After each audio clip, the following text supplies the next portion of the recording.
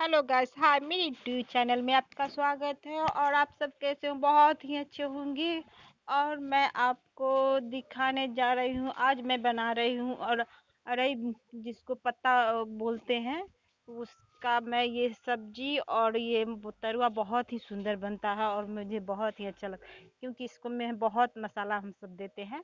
और इस तरह से बेसन के साथ प्याज, लहसुन और ये सरसों का तो पीस के भूलिएगा नहीं, क्योंकि नींबू भी हम सब डालते हैं।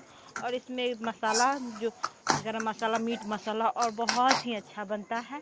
और ये मैंने सब डाल के ये इसको मिला लिए। और अब मैं इसको बता रही हूँ, इस तरह, अच्छी तरह से मिला लें। और इसके बाद ये पत्ता को मैंने इस तरह से मैंने इसका बनाए, बनाई हूँ। और आप इस तरह से देख सकते हैं। बना रही हूँ। अभी मैं इसको आप सबको साथ शेयर कर रही हूँ कि आप भी बनाने का ट्रिक को अपनाएँ और अच्छा से बनाएँ और अच्छी तरह। ये मार्केट में भी मिल जाता है बड़ी बड़ी शहर में, लेकिन मेरे सके गाँव में ये अपना ही खेत में ही मिल जाते हैं। तो इसलिए मैंने बहुत ही अच्छा से इसे बनाती हूँ और मुझे भी बहुत अच्छा मेरे सबको अच्छा लगता है। ये बला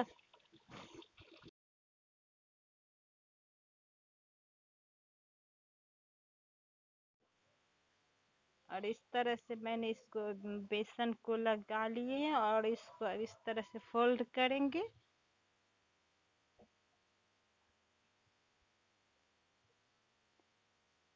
ऐसे मुझे पहले बनाने नहीं आता था, लेकिन मैं अपनी सासू माँ से बहुत अच्छी तरह से सीखी हूँ, क्योंकि मुझे नहीं आता था बनाने। तो मैंने धीरे धीरे इसको सीख ली, इस तरह से फोल्ड करने का।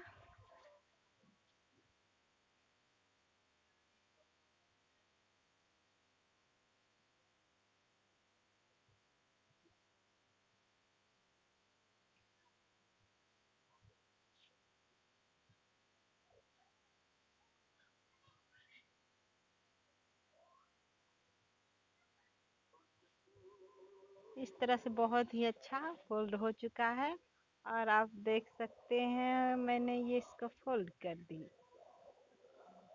और इसको मैं बस कर, थोड़ा सा पानी कढ़ाई में डाल के इसको उबालेंगे। इसके बाद कट काट काट के मैंने थोड़ा इसको तेल डाल दी उसको ये तैयार हो गया। मेरा मैंने ये इस तरह से तावा पे ये सरसों डाली और ये इसके बाद तेल डाले। का सब्ज़ी। और ये और मैंने पुलाव भी बनाए ले रख देती हूँ संडे था इसलिए मैंने थोड़ा सा मैंने सोचा ये काट के कुछ बन ये उबाला हुआ है और काट के मैंने इसको फिर फ्राई करती हूँ तवे पे।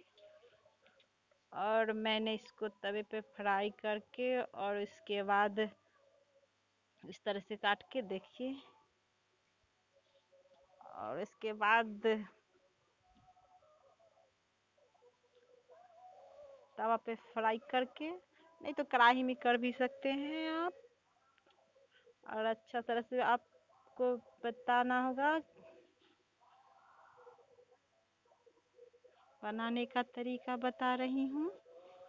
और इस तरह से ट्राई करके देखिएगा, बहुत टेस्टी और सुपर लगता है खाने में। बहुत ही मज़ा आता है। मैं ऐसे भी खाली खा, रोटी के साथ भी खा सकती हूँ। और मेरे चैनल को लाइक सब्सक्राइब करना ना भूलिएगा। और इस तरह से मैंने आप सबको बता रही हूँ कि इसी मैंने इस इसी पर फ्राई की हूँ वाली हूँ। और ये हो गया तैयार मेरा तरुआ। और मैंने ये खाना संडे का दिन था, मैंने इस तरह का उबाल के मैंने ये पुलाव और तड़का भी बनाई रोटी के साथ और ये तरुआ भी बनाई हूँ। और आप सबको कैसा लगा कमेंट में ज़रूर बताएँ। धन्यवाद।